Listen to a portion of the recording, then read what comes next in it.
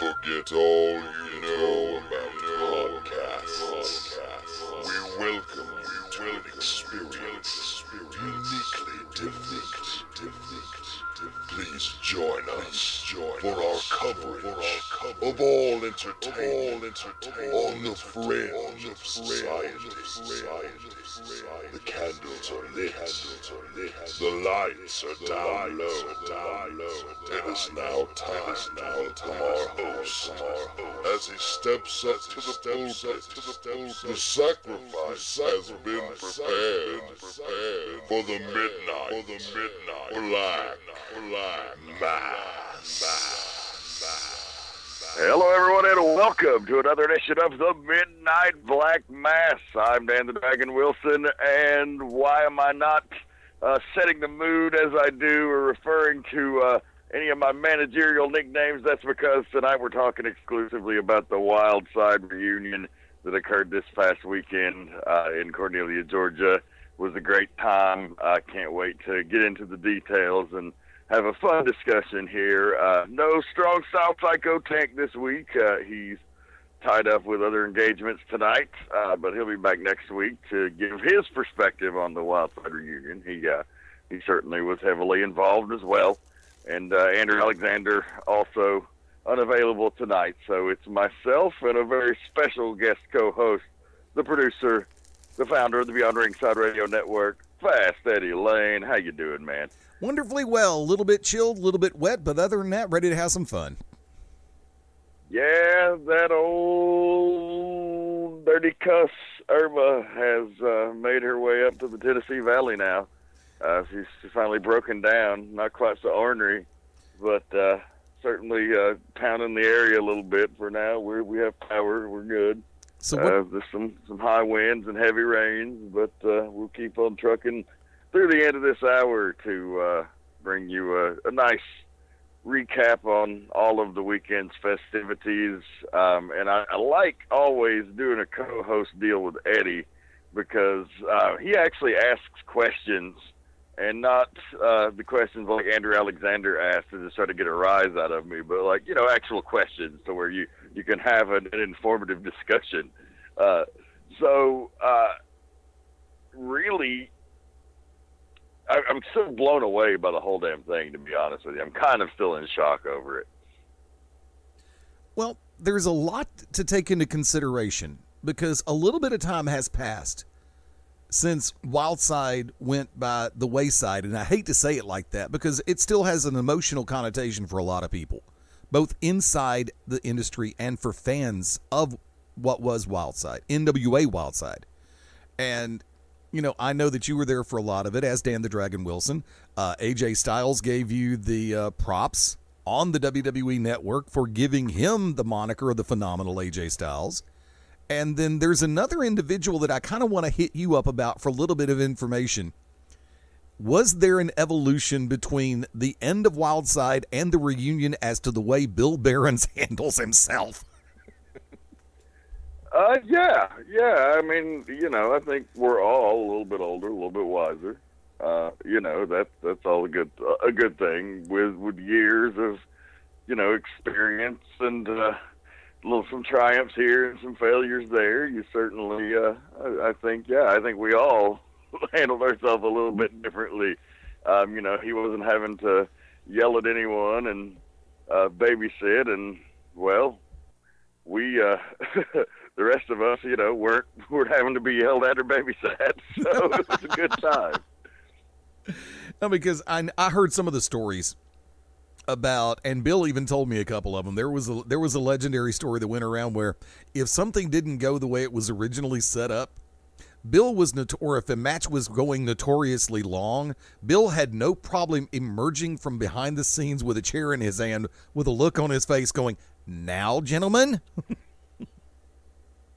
Uh, It generally wasn't a chair. That that might be some overblown shit. Um, like he would, but he would come out and like cross his arms and give you the stern dad look, like now, now, boys, you you you, you better wrap it up. like, and of course, nobody wants to disappoint Bill. So we're like, oh, okay, Bill, God. Uh, so it's it, it it was really fun, like rekindling that atmosphere and seeing. Dude, I saw guys I haven't seen in 15 years, probably. Um, like Laz, like, for Right. crying out loud, one of the great early staples of Wildside. Uh, really came out and showed out. Like he had lost a step. Um, just like complete. Are you familiar with the Laz gimmick? May I ask? In passing, yes. In depth, no. Okay, well, he's one of the most popular stars we ever had at Wildside. And uh, if he was ever a heel, I don't remember it.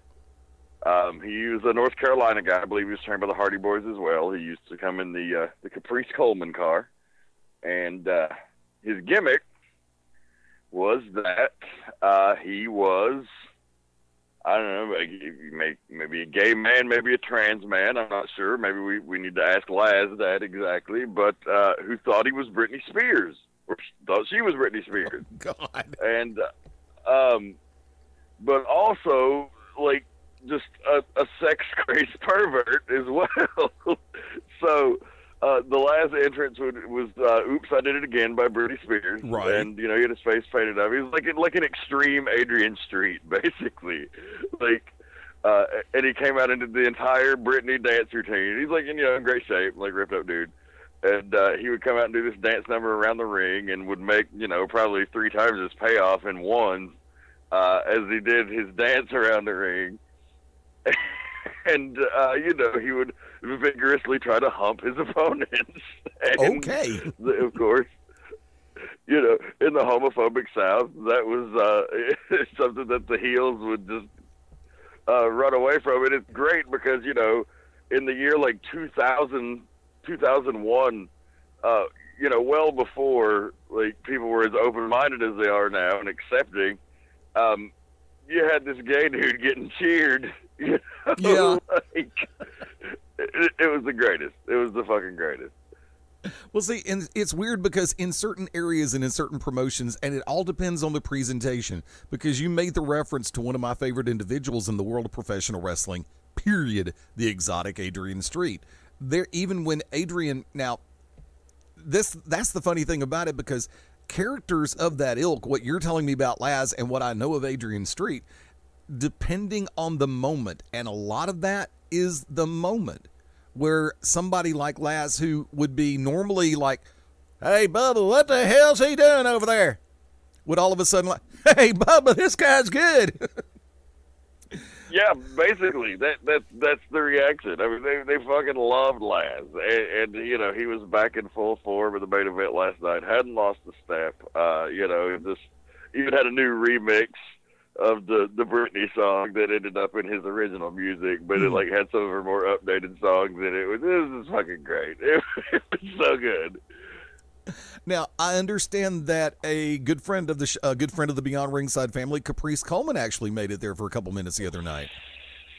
Oh, he did. Well, he was Laz's tag team partner in the main event, actually. Um, you know, 15 years later, a lot of us uh, are, are older, as I'd mentioned, and uh, some of us really can't go in the ring or have retired officially, like Tank, or, uh, you know, maybe just physically aren't able to, to do much. So, so it was a lot of smoke and mirrors, you know. like, there was a few really good matches and a lot of really entertaining shit.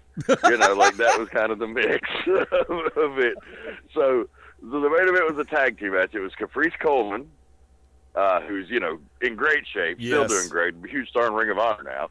So, um, you know, great to see him back. Such a Oh, great, yeah. humble dude. Like one of my favorite people in the business. Honestly, like he's such a, a kind man. He's such a good dude He really is. um, and a talent, you know, such a fucking talent. But um, so so him and Laz, you know, the old North Carolina connection, baby faces, that was great. People loved that. You know, Caprice came out to his old Nas. You can hate me now. Like every, everybody came out to all the old music. You know, like it, it was so fucking cool. Um, and then they took on Adam Jacobs, who came out in his old suicidal tendencies garb with the fucking parachute pants oh God. and Jason Cross. Uh, and Jason Cross, you know, I was talking to him before the show. Um, you know, a little background on Jason Cross. At one time, maybe the best independent wrestler in the world. Like you know when, when he and AJ were uh, were having their feud, you know a lot of people were like, oh, I think Cross might actually be a little better, you know, uh, as good as AJ was. And like you know, I, I mean there were there were certain things that probably he was better than AJ. Like I don't necessarily agree that that he was overall, but he was maybe as good at some point, you know, and that's that's saying enough. Um, but you know, he had some personal issues and some injuries, and uh, you know, his career was kind of shortened. Right. And so, uh, but you know, he told me before the show that you know he hadn't taken a bump in nine years. In nine years, and that Yeah. guy went out there and he looks pretty damn good for a guy that hadn't taken a bump in nine years. I mean, we got all the classic spots. We didn't get the crossfire, which I don't blame him.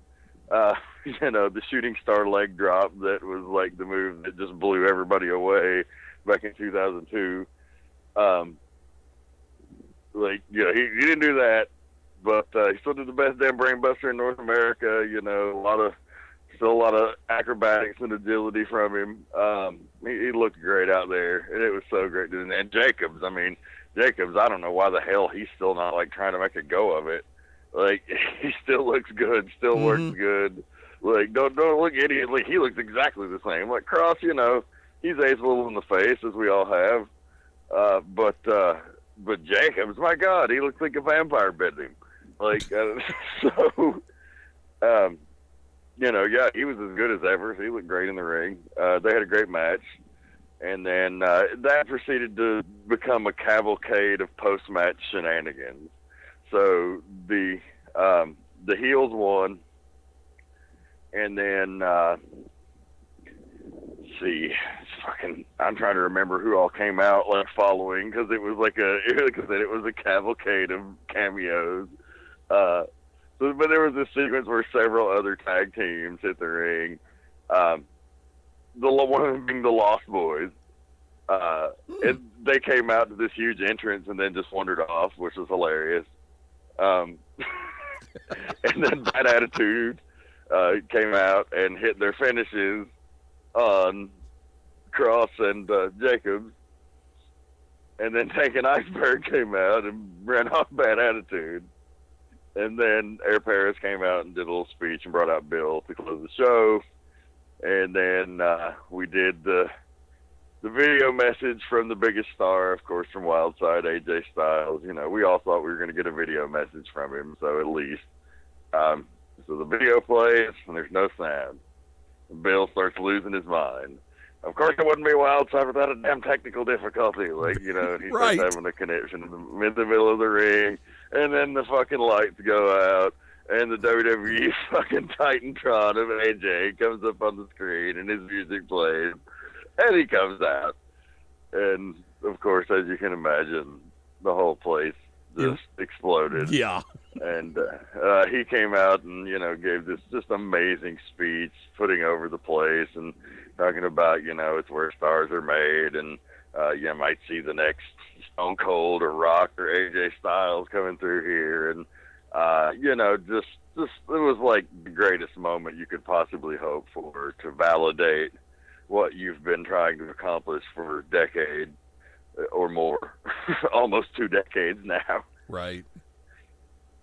Well, I know that there were some people who couldn't make it up there, and I know uh, one of them in particular is one half of the. Um, well, a lot of people know him as one half of the Dark City Fight Club, and that's uh, Corey Chavis. Was originally going to try to be there, but extenuating circumstances kept him from making the trip. Right? Yeah, that was one of the biggest bummers of the whole deal, honestly. Um, you know, one of my best friends from that era. Right. Like, I mean, we we still you know talk on Facebook. Uh, not as much as we probably should, honestly, but you know, it's like I just have so much love for that dude, and um, he was one of the heart and soul pieces of Wild Side. So to not have him there was really heartbreaking. But and it was heartbreaking for him too because he he wanted to be there as bad as as we wanted him there.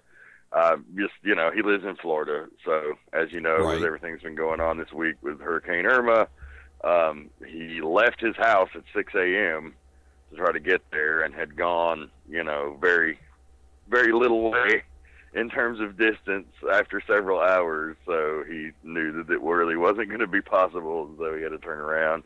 And you know, I'm glad he did because he's there with his family. Right. Uh, you know, and that hit their house last night, and and you know, I can confirm that they're okay. Good. Um, so that's that's a good thing. Um, you know, they they had some damage in their yard, but and you know, minor water damage coming in their house, but uh, nothing nothing too bad. So you know, uh, he's he's good, but uh, yeah. So uh, it it sucked that he couldn't be there. He couldn't be there, and John Phoenix of Suicidal Tendencies couldn't be there Right. for the same reason. And uh, Stone Mountain, who is a state trooper now for South Carolina. he may not be a state trooper; he's a police officer, but uh, it, it, in the state of South Carolina, you know, due to all hands on deck for emergency services, Right. basically trying to prep for things, he had to to report to duty. So uh, unfortunately, he couldn't make it. Um, and then there were some others that were said they were going to be there. You know, I'm not going to to bury anybody, but there were definitely people that confirmed that just didn't show up. So not sure what that was about. Well, Uh, you know, the biggest fucking star on the planet didn't have a problem showing up. and I heard he even brought the U.S. title with him. Yeah, of course he did. Like, I mean, he clearly had to get permission to do that. So, you know, Well, and you got to think, considering that as high on the roster as AJ is right now, not only with the U.S. title, but of course in the pecking order nowadays, um, you've got in probably the top two or three on the blue brand.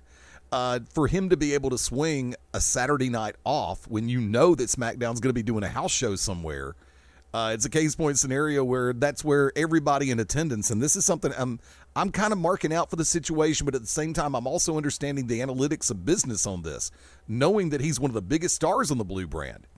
For him to swing that night off, to make it to Cornelia for the Wild Side reunion, and be able to surprise everybody like that, that's got to go down as one of the biggest moments in the in whether you call it the Church of Southern Wrestling, 4236 Level Grove Road in Cornelia, or you call it the Landmark Arena.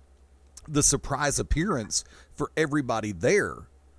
That's got that's going to be hopefully one that people talk about. It's like he got away from the E to come down to this. You have to think about that for a second, kids. well, you you got to think like with Triple H's influence, who seems to, you know, I think Finn Balor did something similar to his old stomping grounds in ICW in Ireland.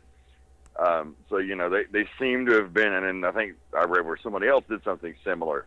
They, they seem to be more receptive to uh, working with you know the local indies. We know they're working with Evolve, and I think you know it's it. I mean, it doesn't hurt them. What does it hurt them for for you know a, a guy? It only helps them. It only makes them look good. It So- impro- yeah, it improves the PR factor because, and I'm not going to knock another promotion, although it's going to sound really bad what I'm about to say. Um, considering that it would normally take an act of God Congress and the 82nd Airborne for someone who was under the banner at that time of TNA Wrestling to be able to make appearances, you had to jump through so many hoops in order to get. And we're not even talking about top tier talent over there. We're talking about mid card talent. If you were trying to Well- go ahead, we we had to jump through less because of Bill, thankfully. But go yeah, ahead. true, yeah, true, but that's an advantage y'all did have. But there, I mean, it's like there are other companies where they would try to bring in even mid card talent from TNA, and it's like, well, you got to do this, this, this, and this, and they can't do this, but they can possibly do this, blah blah blah blah blah, and it's like all of a sudden, uh, why am I wanting to bring them in anymore? And then lo and behold, you're right because remember when the Hardys went over with the Raw Tag Team titles at Mania, they still had contractual obligations and they were showing up at these other companies in the Northeast and the Mid Atlantic with the Raw Tag Team titles. And everybody's going, oh my God. And I'm sitting back going, this is PR. This is what the E needs right now is positive press. And AJ showing up there, like I said, just a capper on a great night for so many people. Yeah, and I mean, you know, if it's something like where they're going to do a DVD of him, then I mean, you know, you, it's a great story. So I can see why they did it. You know, like oh, we can put this footage on here and show, you know, how how he came back to where it all started, and you know, just this fucking yeah, it's it's, it's great. Now, I want to flip the script because I want to know about your voice in the overall scheme of things when it comes to calling action and being a part of it all with Wildside. Yeah, sure. Like, what do you mean, my my physical voice? Like how it No, no, no, no, no, no, no, no, no. no, I mean I'm talking. About, I know you've had various tag team partners in particular that you um were working with over there at Wildside, plus some of the other passing talent that came through, some of the matches you were able to call. I'm going to throw this one at you. I mean, I know you and Stephen Prazak were a tag team at one time, right? We were the tag team. Right. We were the Wild Side announce team. We got to reunite Saturday night. Right. Like there were other announce teams here and there, but for the we had the longest run, and and it was hundreds of episodes together by far of anybody. if there was one match that could be recreated today, here's the if then if if I knew then what I know now, as far as being able to go behind a microphone. If there is one match right off the top of your head, it doesn't have to be the earth shattering epiphany match that you and Prazak could call right now as it took place then, what would it be? Oh, easy. Uh, it would have been the uh, and I Prazak wasn't even with me at the time, but it would have been the uh, my debut commentary match, uh, which was not my debut match, but debut show. Uh, was Air Paris versus AJ Styles versus Sabu in a three-way dance, and I was thrown out there because like they did the show on a Thursday and there was a snowstorm, so Al and Steven Prazak were the normal announce team, but due to whatever, they couldn't be there. Uh, and it was like a last minute thing. So Bill was like, all right, well, you're up. It's like, okay.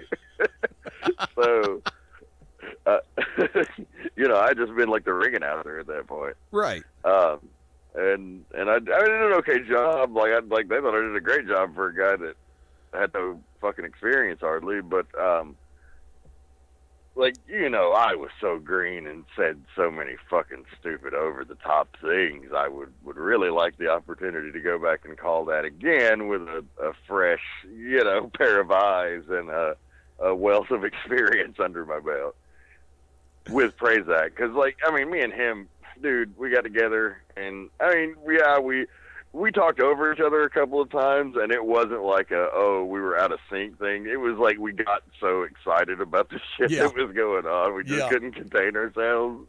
You know, uh, we had the chemistry just as we did back in the day. It was like nothing changed. Um, you know, and I've invited him to come back to Anarchy and do some guest spots here and there. On a moment like that, when you are talking with Prazak, do you feel that much younger again, or does time actually set in?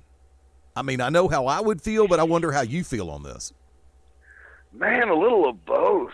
Like, you know, like feeling the energy. It was definitely like the clock just turned back. It was blowing my fucking mind all night long. Like from the first match where Slim J came out as Slim J again with the bleached hair to the Eminem music with the probation officers and the handcuffs, uh, with his old gear and the bleached hair and everything. Um, to and you know wrestled Kid Cool, who was the later became Seth Delay, uh, who came out in his old G-rated gear to the fucking New Kids on the Block, the right stuff. Like it was just, it was freaking me out, man. But it was so cool. It was so so cool. But then again, like I said, part of me like I look over and I see the gray in Prazak's hair and, and beard, and you know I can see myself in the monitor, and I'm not a fucking spring chicken either. So you know, t- time was was still ever present. You make a reference to Laz and the Britney Spears. You make a reference to the New Kids on the Block. Not necessarily from this past weekend, but overall, who had the music that just made you go, Are you really serious? Oh man, there's always been some. Um, not as much in the Wild Side era because we we really policed the music, and guys have had better taste in music then. I think, you know, I think anytime you heard something that was just overdone, like some generic ass ACDC, like man, I love some ACDC, but you know, we've joked on here how many times about how ACDC is like the boilerplate independent wrestling music you know, like TNT, okay, that made sense that they had ACDC, but we even got like a pop punk version of it that was like a little faster. Yeah. You know, for them to, to just kind of because you know we were like the hip modern thing at the time. It wasn't like you know Wildside was, was different in that respect. Like Anarchy, when it first started, very much tried to be very old school Southern territory, and that worked great because they hadn't seen that in a while. But Wildside was like cutting edge, like uh, you know, in the same way that ECW was in many ways. I mean, with still some of that Southern influence. It's often been described as the bastard child of ECW and Smoky Mountain Wrestling. I think that's the, about the perfect way to describe Wildside. Oh Lord. Now, like I said, there's so many different directions I want to go with questions, but I, I don't want to stray too far away from it. Um, if it is this something you wish would happen yearly, or at least every other every couple of years? Yeah, I, I mean, even if there's not a show, you know, I think at some point a show becomes impossible due to time. But you know, I would love for us to get together once a year, once every couple of years at least, and just catch up and see each other. You know, there's still a lot of guys that, that there were guys we couldn't track down.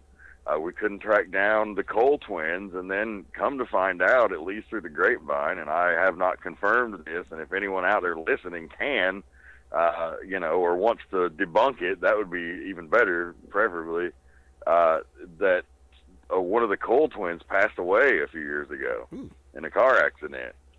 Um, so, and I don't know which one. Uh, you know, there was Keith and Kent. Those were they were great dudes, man. they were a really integral part of early Wildside, and and you know everybody remembers them from WCW as like the mullet dudes, like kind of the high flying tag team, but they got jacked up, and they were big dudes anyway. They were like six four, six five each, and uh, they were like you know got this biker look going on. They had all these tattoos, this bleached hair, these giant sideburns, and uh, they were Jeff G Bailey's like muscle in the NWA Elite, and uh, oh dude, they were just fucking they're hilarious dudes and great dudes to hang out with, and we we had a lot of good times with those guys, and uh, man, that really fucked me up to hear that. So I hope it isn't true, but if anybody knows, uh, I would like confirmation on that. Let's go in that direction. You brought up Bailey, and you know, in the world of wrestling in the southeastern U.S., there are a few managers that really just stick in the minds of people. I mean, I'm I'm very much of the ilk that not everybody who walks to ringside with somebody is a manager. Even in the male gender, because you have some males that just are not good managers. Therefore, in my book, they are valets. so, I mean, oh, there's plenty. yeah, buddy. I mean, and there's four in particular. There's three in particular that always popped that in my book, and I'm not saying this because we're acquaintances. I'm not saying this because we've met and we've broken bread, and I like to call us friends and comrades in arms, or brothers in arms as well. I do put you near that top, right alongside, and I bring in a longtime friend of mine, the Wicked Nemesis, um, the Oracle of Ominous. I bring in Jeff G. Bailey, and as far as different personas that just stick in the mind now, of course, in later days, I finally had a chance to meet and work with Al Getz, um, courtesy of another promotion in the state of Georgia, Peach State Wrestling Alliance. Um, had a chance to work with Getz a few times. Really great character. Always enjoyed hanging around him and talking to him and going back in time on that one. But as far as the Wild Side era, managers who just stuck in your brain and go, wow, okay, cool, run with it. Um, uh, for a lot of different reasons. Uh, well, of course, Bailey, you know, there he was the best manager of Wildside, but uh, you know, Mr. Wildside, Steve Martin was a great manager as well, and you know, he he had an interesting story, and oh my God, he was there, and I hadn't seen that guy, and and I know 15 years. Um, very cool to catch up with him. He, you know, I don't actually give him enough credit honestly, for um, molding a lot of my early. Like he taught me a lot in my early days in the business. Uh, he was the original promoter of NCW. Uh, he started promoting NCW in 1995, and he fucking uh, like he had done some acting and shit, so he'd had a little bit of Hollywood experience. Not not the not the Steve Martin. Uh, he was actually because his name was Steve Martin when he was an actor. He changed his name to Chance Williams, Yeah. and uh, he he used that name early on as a commentator, and he was the commentator of NCW for years, and the early commentator of Wildside, but then also revealed as the owner of the promotion. He was the babyface owner for a while. They did a big angle with Jeff G. Bailey when he was managing K-Krush, uh, who you know is now R-Truth uh, against AJ Styles in a feud where Steve was like AJ's big supporter, and they like you know attacked Steve and shaved his head and kidnapped his wife and all this other shit. There you go. Um, it, it, and you know, so Steve, but Steve eventually turned heel and joined them, and became a heel manager of his own. He was a great manager, actually. He got a ton of heat, and he had this like foghorn leghorn like delivery that was just the fucking best. Awesome. Uh, and uh, so yeah, so Steve Martin was a great manager. Um, Al Getz was great. He was a part of a lot of big shit in the early Wildside days. Um, even prior to Bailey, like you know when Bailey was on the rise, Getz was kind of on top already. right. Um, you know, he he was managing Scotty Rand in the big early feuds with Rick Michaels that um, you know kind of drove the first year or so of Wildside. Um, and Al was great. Uh, but another manager that I loved, and you know, people say he's he was just dreadful in his Memphis run and blah blah blah, but um, we had nothing but gold out of him. That was Big Business Brown. Um, you may remember him from Memphis wrestling in the early '90s. A little bit. Um, he was actually broke in by the Poffos, um, and I guess he was a friend of theirs or something. And uh, he became a manager, and as like a lead serious manager, not great. But what we did, we made him Jeff G. Bailey's lackey. And so we called him his money mark. I mean, financial consultant. um, and he was the greatest lackey in the history of wrestling. Um, so good, and like he would just sit out there and just sweat buckets. like he had the sweat rag, you know. He's just fucking pouring. He's a big fat guy. He's just fucking pouring sweat, you know, in his suit with his briefcase that that had G. Bailey's money in it, and uh, and like any time that you know he was always like the setup to to get to Bailey. So you know, so, like one time Trash, I gave him a wedgie or something. White Trash, who was like our hardcore guy. Mhm. Uh, he gave him a wedgie or something in a vignette, and he's like, "Oh, you wait till the council hears about this." Oh, like, he's just like he was the greatest lackey in professional wrestling history, and he was there Saturday night, and they reunited with with Bailey and the Elite. I hadn't seen him in years, and you know I'm hoping to have him back. He's he's interested in coming back to Anarchy, so we Jeff G. Bailey's financial consultant could very well be returning soon, folks. Now, one other little direction I want to hit on before I go to the heart of the batting order on something, because you've already mentioned his name and I'm going to come back around to him. One of the most overlooked commodities in pro wrestling is the official referee. Some of the refs that were part of the Wild Side era. Which one's stick in your brain? Oh man, we had some of the best refs in independent wrestling history. I don't know of any independent company. I mean, you look at a great track record of talent. I mean, certainly OVW would boast a higher success rate of guys in the uh, the major leagues, but I don't know of anybody besides them, as far as independent promotions, that could boast the uh, the number of in ring talents that we had that that went on to get jobs. But as far as referees, we had at least three referees that got jobs. Um, starting with Jamie Tucker, uh, well known as the WCW ref, but he Mhm. started as a Wildside ref, and when he got let go from WCW, came right back to Wildside. Um, uh, great dude. You know, he he was. I think he he got over just initially because he was the only like ginger ref that anybody had ever seen. But he was a good ref. Um, he came down from North Carolina, and uh, good dude, like super nice. And so yeah, he went on and got a job. he was the first, and then we had Andrew Thomas, who went on to get a job in TNA, and then you know started as a ref, but also like he'd mainly got the gig because of his production experience because he was the producer and editor for the Wildside TV, and uh, he ended up becoming the editor for TNA, and he's still the editor for TNA to this day. Hmm.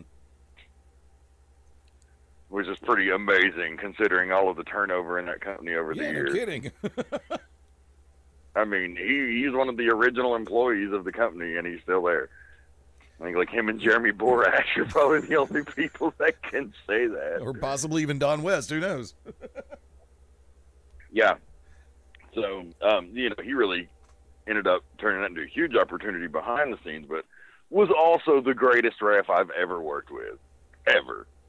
Like, a damn shame he never got picked up by WWE. He might have been too good for WWE. I, I know that's silly, but I know they want their refs to be a little more nondescript. You normally want a ref to be a little more nondescript, but he's like the most animated ref you've ever seen, and not in a way that takes away from the match, but only enhances it.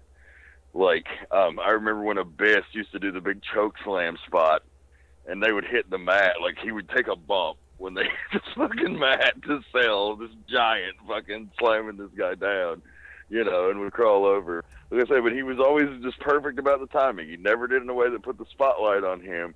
But if you watched him, like he was as entertaining as the fucking mats. like, just his reactions to shit. Um, so good. And then he did a lengthy as a heel ref for a while uh, when Bailey took over ownership of the company and put him in charge as the senior official. And uh, he was a great heel as well. He had a ton of fucking heat. Um, it's just, just amazing. He was great. And then Mike Posey, of course, Of course. uh, ref two WrestleManias, uh, was a wild side ref for many years, and he refed on the the show Saturday night, which was great. And not only did he ref, but he appeared in the Mega Rumble as Kid USA, and then again at the end as P Dog, Okay, that's cool. and he. And he thought he won the Mega Rumble. He celebrated it and talked mm. about all of his accomplishments until the final member of the Mega Rumble entered, who was New Jack. and Posey eliminated himself, and New Jack won the Mega Rumble. Damn. you know, and this is something I'm I'm I'm going to break out character for a hot second, and I'm just going to go ahead and sit back and say this. Mike Posey, and I'm going to kill I'm going to kill something on this one, so please forgive me, Mike. I've worked with Posey on so many different occasions, and it's always I, I'm just going to use the word. It's a blessing when he's on the card because he's somebody that I can talk to, but I mean genuinely talk to. Because under normal circumstances, for all the different things that he's done, whether it be Alabama Attitude, he himself is Mike Posey, whether it be P Dog, da da da da da da, keep going. Um, there are times when he is one of the most quiet, introspect. I don't want to use the word introspective, but I'm going to use it. Um, unassuming characters in a locker room. You know how you go into a locker room and it's like everybody seems like, even without a camera around, they're fighting for um, FaceTime. And Oh, yeah. Posey is just one of the most genuine professionals that I've ever worked with. And that's that like I said, I said the word before and I'll say it again. People like him are a blessing for this business. They come in, they work hard, they do their thing the right way. They they shh, the word professional's an understatement. But like I said, I don't want to kill Posey's he because he's great as a heel. And he's also good as a babyface character too. But like I said, just people like him, I genuinely enjoy being around. So that that to hear what he pulled on that one just it makes me sit back and go, you know something, he can pull that off. Yeah, yeah. No, Posey's a great dude. I've known him. Like ah, he's one of the people I've probably known the longest in the business. Um, I met him before I ever went to Wildside, around like 1999, like late '99, uh, over in Dalton, Georgia, working for TWA. Uh, he would come in as a ref with a crew from Alabama with Jack Lord and uh, Adam Roberts and Monster Man and uh, you know they would come and do the shows, and there were always a carload that came together, and that that's when I first got to know Posey. So God, I've known him for for legit almost twenty years. Well, I know that I think it was over 300 episodes of Wildside Television, Yeah, and those are still available out there in the stratosphere right now, aren't they? most all of them are on YouTube. Um, unfortunately, they weren't cataloged worth of shit, Bill. so, I, I mean, actually, I can't blame Bill. It was the Cole promo media guy who put them up there for Bill. Um, but like they're they're episode numbered, you know, but most of them don't have match listing, so it's all there, but you got to kind of look for it. Right. So, um, but it's there, you know, like everything with the big shows, and you know, you can still buy the big shows from Bill. So email him at showbiz at AOL dot com if you want to purchase any of the old big shows because he still ain't putting them out on YouTube. You think after fucking twenty years he'd No. be like, all right, we can just put these on YouTube now, but. But no, you still got to get a DVD. So hit him up. Hold on. Hold on. Let me let me let me see if I can get this. Hold on. Let me adjust the treble. Well, Daniel, what you have to do. I couldn't go any further. I lost it. Oh damn it! Was I even Um, close? I, I fucking love Bill. It was so good to see him. I hadn't seen him in forever, and you know we we had some laughs and some hugs and bitched at each other a little bit. it was a good time. let me let me throw this name out there, and like I said, um, Rick Michaels, the chosen one, if you will, tumultuous run, all of the above, but as over the last few years has become one of the most respected names in this industry, in our neck of the woods. Uh, worse with Anarchy, um, now with uh, while well res- while we wrestle, then Anarchy. Which is it this week? It is still Anarchy, right? Yeah, it's it, no, it's anarchy. It, it will be anarchy for the duration. I know. We've But- expanded our brand. It includes anarchy and our Friday night show, NCW, NCW. as well. Um, also, Peach State Wrestling Alliance. Also, one of the producers for uh, Scenic City. Uh, just recently came off the Scenic City Invitational. Yeah, we got our fingers in a little bit of all the pots Yeah. around. And yeah, actually, I've been asked, so I'm going to go ahead and use this forum. Um, actually, in the month of October, um, scheduling permitting, I'm looking forward to making a return to Peach State Wrestling a lot. So I'll go ahead and throw that one out there too. Um, but nice. when you have an opportunity to know someone and their history and see how Rick Michaels has taken the direction of his life in this business, how big's the smile? Oh, it's huge. I mean, you still have people who want to fucking try to bury him over shit and situations they don't really know nothing about. I mean, like he he'll be the first one to tell you he did horrible shit. He also did hard time in prison and paid a debt to society. Uh, he's also been working in the business for a decade, trying to improve that reputation since all that shit happened. I mean, there's also people there that allowed him back in that position that police any potential inc- you know what I mean? Like Yeah. it's just I, I think you know I, I've seen a couple of people throwing some shade at him since the, the publicity of this has hit. Um, and you know, all I gotta say is like you don't know the situation. Like, yeah, it was incredibly fucked up. He's done everything he can to make amends. Um, you you should fucking trust the people that you knew there anyway, uh, and maybe reach out to them before burying the guy on social media. That's all I'm gonna say about that, unless I have to to go into more detail. But um, you know, I'm I'm extremely proud of Rick. Like, uh, you know, he knows what a once in a lifetime opportunity he got to get redemption. Um, he's done everything right, you know, and, and it's been a pleasure working with him. And I was as apprehensive as anybody based on the history, but you know, I'd seen his track record, and you know, I had a heart to heart with him myself, and uh, you know, we we came to a mutual understanding to work together, and you know, have rebuilt our friendship in the process of this, uh, closer than it's ever been, because you know, there's when bad shit happens and people fuck up and and they've got to make amends, you know, you just when when when you open up like that, you just get closer with people. So Right. yeah, like I, nothing nothing but good things to say about him at this point in his life.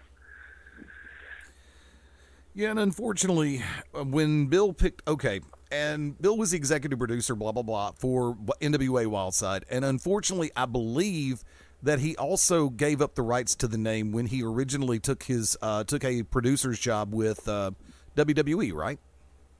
He didn't give up the rights to the name. They forced him to close the company when he took that job because Vince said we were a conflict of interest. With Deep South. which was the greatest compliment we were ever paid up until this past Saturday when AJ came back. Um, like, you know, like that that we were enough on his radar to say, nah, like we, we basically got the territory buyout deal from the '80s, which no one had gotten in years. So yeah, it was pretty dope. but uh, you know, so he did have to close it down, and I mean, you know, it it was. I I don't want to say it was waning, but you know, he he was considering closing it even before that happened, and I, I believe, and he'll he will probably correct me if he hears this, but uh, I believe it was because you know he thought maybe something more full time with TNA was coming on the horizon, to where he probably couldn't really still run the show. He had you know he had been missing a lot of the later shows anyway because of his responsibilities with TNA.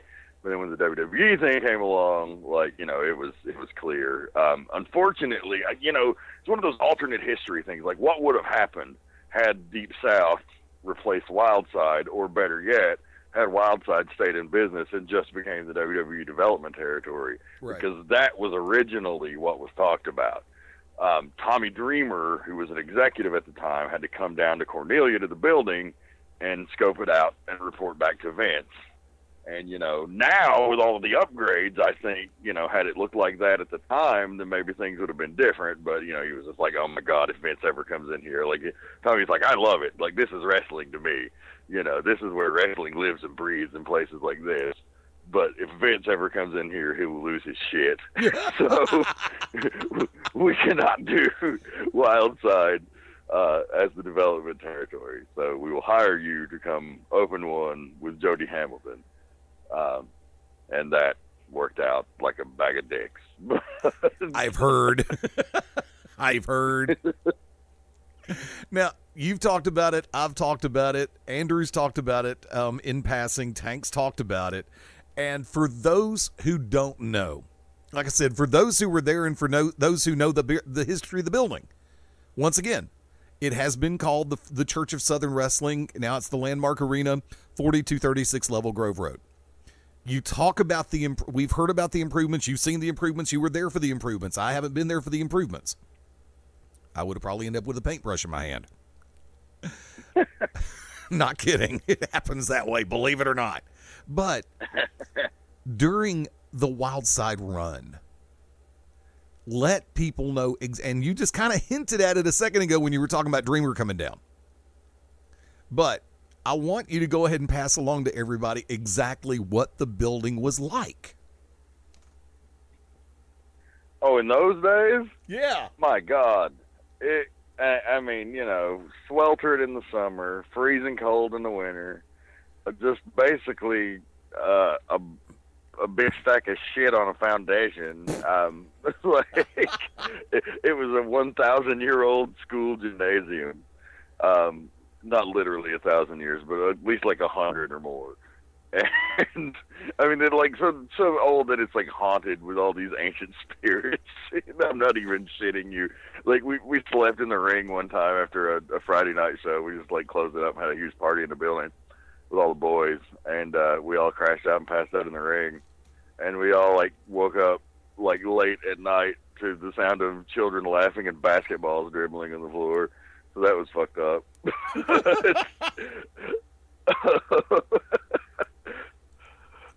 um, and so, so yeah, it, I mean, it was it was just like a falling apart, you know, like just the decrepit, decaying, like the worst piece of shit you can imagine. And it still looks like that on the outside, but on the inside, everything's been completely remodeled. and It looks like a, a classic old TV studio. It looks great.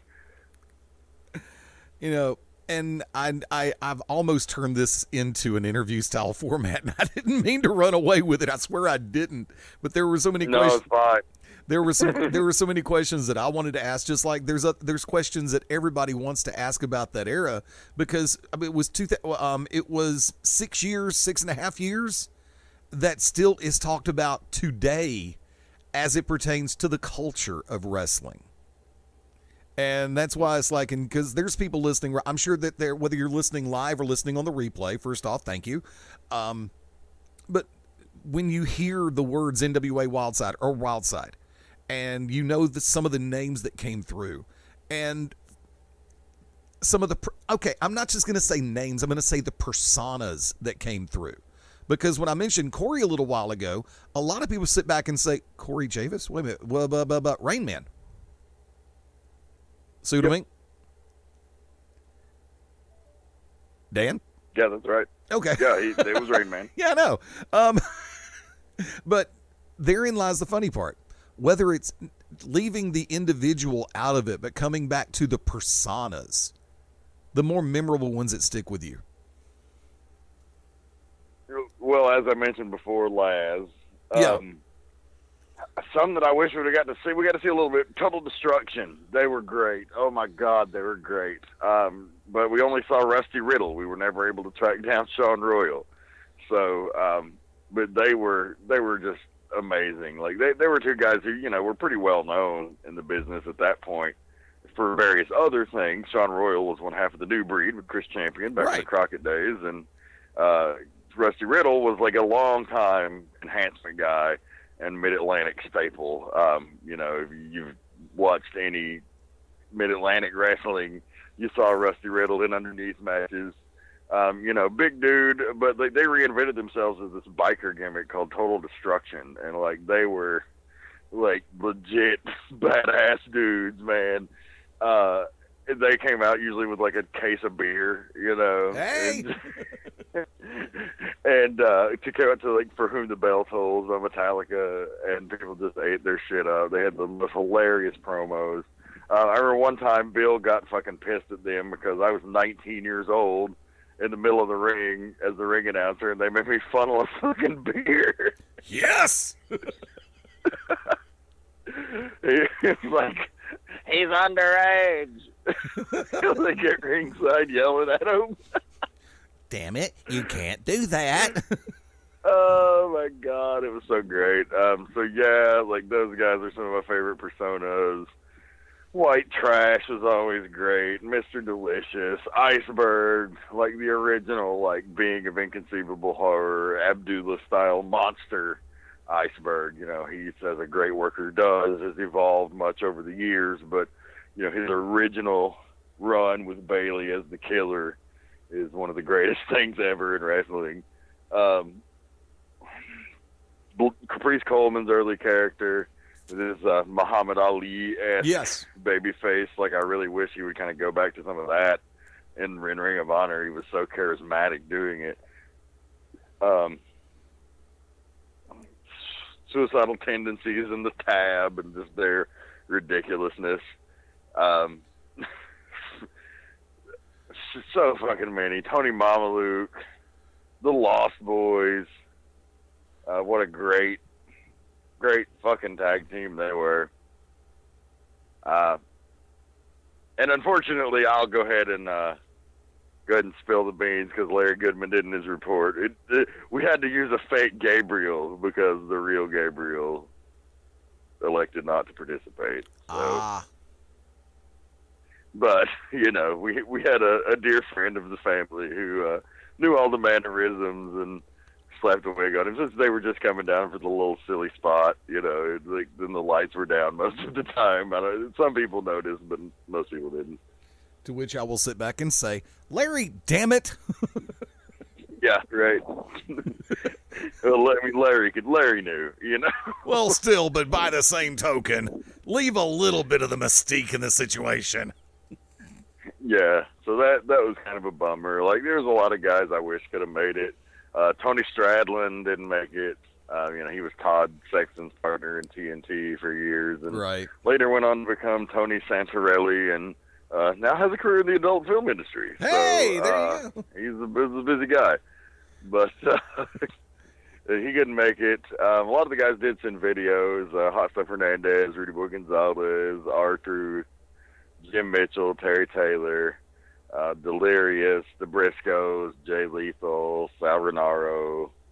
Uh, you know, well, so a lot of the guys that that couldn't make it did at least send videos, and that was cool. Like Amazing Red sent one, and then uh, uh, what was cool is Zack Ryder sent one just because he was a fan of the show. Like he he never worked for us. He just sent a video because he, he used to watch the show all the time. Absolutely amazing. I'm I'm going to shut up, step back out of the way for a second. I'm going to let you continue on on some of the things that you wanted to bring up about it. Like I said, I I, I apologize for kind of hijacking the episode, but there were so many questions I wanted to ask. Oh, you're good. Tanks want to fucking want to talk about it anyway, so it's not like we're we're missing out on anything here. We we just got a couple minutes left. So I was just saying, you know, some of the guys that I'd, I'd hoped to see there that didn't make it. Um, you know, uh, Murder One was was no no Incasa. Um, not sure what happened with him. Uh, Jimmy Rave was no Incasa. Not sure what happened to him. Uh, it was great to see Luke Hawx. He's doing great things. Uh, he had a hell of a match with Anthony Henry.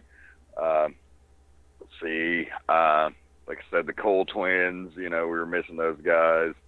Uh, there, there were definitely some guys that we wish could have been there that weren't, but we still had a great contingent of the the old timers there. Oh, J.C. Dazz had, you know, he was one of the guys that allegedly was going to be there, and then, you know, we found out, I guess, the day of that he wasn't coming, whatever. But, um, you know, he was always one of my favorite guys to watch in Wildside. He was so good. Uh, so we didn't, get to see him. So, you know, we missed out on a lot of guys. So hopefully we can do it again next year or year after. You know, like I said, I we don't even have to do a show. I would just like to do or you know, fucking do a barbecue and a Q and A, and you know, That like works. uh, you know, drink beers and have a good time, and uh, you know, not worry about a show. We're not going to top this one. Less drama, less us are going stress. to be any younger. So Normally less drama and less stress that way. Yeah, yeah, that that would be my preference. You know, like like they do with the Gulf Coast reunion. Instead of just instead of doing a show, you know, let's just Do a convention. That that would be fine by me. You know, it's really surprising because I know how close it was to Dragon Con. And um, actually, we have not spoken since Dragon Con weekend, have we? No, Um, we got a little time to play with if you want to shift over. Did you have a chance to go this year? Yeah, I did. The the, the wrestling was good, man. Um, it was probably the most well ran. Uh, Rick Michaels again running the uh, the production area, like kept it a tight ship. It was like the quickest Dragon Con show in, in history. There were thousands upon thousands of people there, and there was some, you know, pretty good wrestling this year, which is generally not what we strive for on those shows, but it was a great bonus. Um, so yeah, I had a good time there, and then went and did the con. And I mean, like we didn't take in any panels or anything. We just went and partied and met people and saw people we you know saw the year before, and you know just looked at costumes and all that cool shit. There's, there's not a lot to report on it, but it was a good time. Yes, once again, I was actually supposed to make it over there, and I ended up having to work two jobs that day. Nah, what a bummer. It's like, well, case point scenario. A week ago, I had 40 yard line seat for myself. I was going solo to the UAB return, the home opener for the University of Alabama Birmingham football Blazers. Lo and behold, I had situations come up, personal situations came up, and I had ticket, 40 yard line, wasn't able to go. But What a shit. hey, we won. Okay, I'm good with that anyway.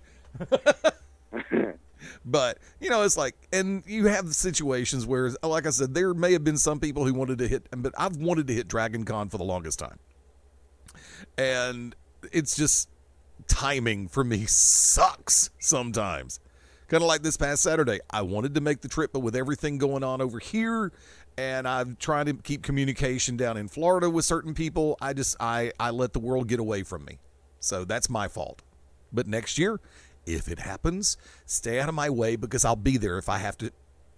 I'm not going to say the end of that sentence. It depends on who I have to bribe to get out of, to get my fucking ass out of Birmingham.